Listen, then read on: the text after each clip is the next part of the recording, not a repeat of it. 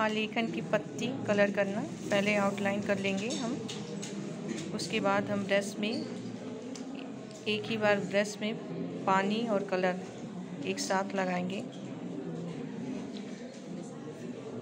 पहले हम आउटलाइन कर लेंगे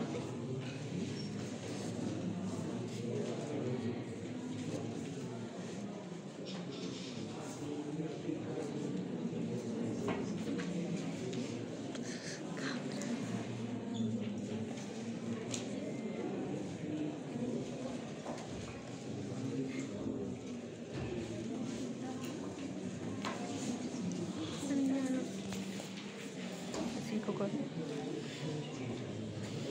ब्रश में पानी और कलर एक बार लगाएँगे।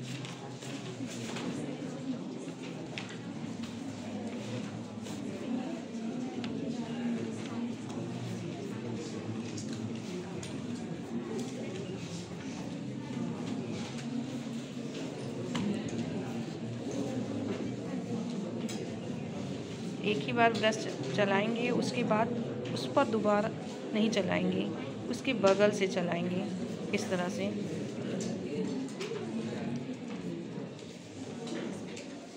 बगल से ही चलाएँगे।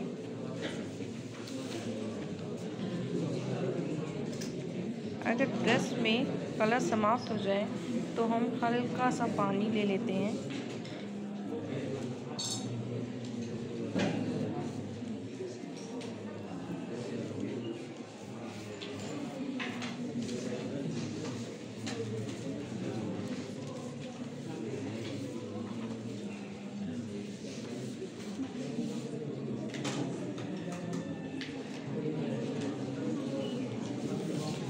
पानी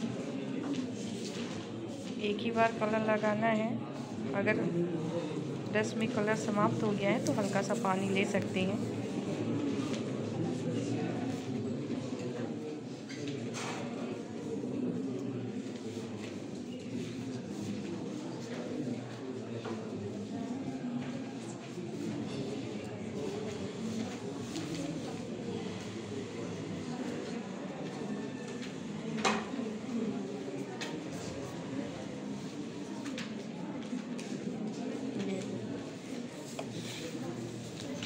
इस तरह से लाइन पड़ जाएगी, देख लीजिए।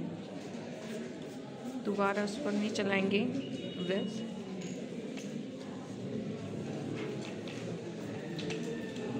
इस तरह से। अब जो खाली है ब्रश को हल्का सा पानी में धुल कर अंदर इसी तरह से कर देंगे।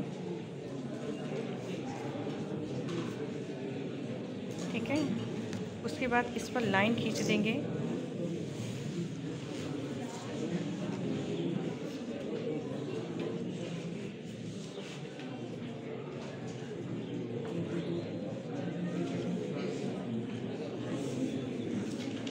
सूखने के बाद थोड़ा सा इस तरह से आप इस पर गोल सा भी रख सकते हैं, लाइन भी खींच सकते हैं।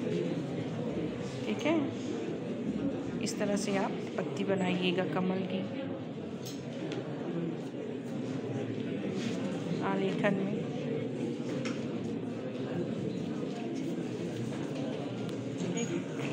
इस तरह से बन जाएगा।